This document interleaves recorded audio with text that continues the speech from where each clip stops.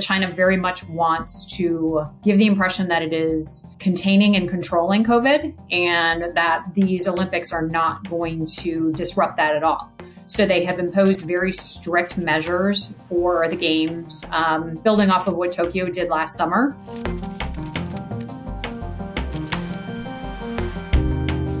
What's going to be interesting is that they had not had a ton of cases of Omicron, and that appears to be changing just as the world is starting to arrive in, in Beijing. The IOC and Chinese authorities have said repeatedly that they believe that they can host the games safely without contributing to community spread.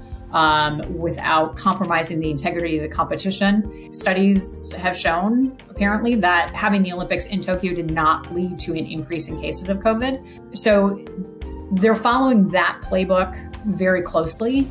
The biggest change between these games and the Tokyo games is that almost everybody is going to be vaccinated. If you are not vaccinated, you have to do a 21 day quarantine, which is simply a non starter for an athlete.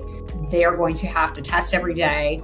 Everyone is going to have to track their health on an app, uh, meaning, you know, every morning, check in, log your temperature, etc. And then the other big change is the, this closed loop system. Supposedly, there's not going to be any interaction with anyone who has not been in this bubble, as opposed to Tokyo, which had after 14 days, if you had been in the country, you were allowed to take public transportation, go to restaurants. There will be none of that this time around with Beijing because they're really trying to keep a lid on this.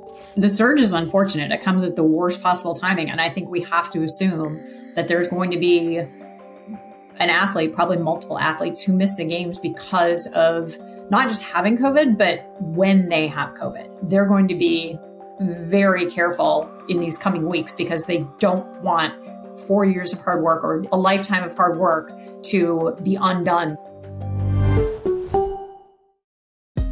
Hey, thanks for watching. If you like this video, check out these other videos from USA Today to stay up to date with all the latest news.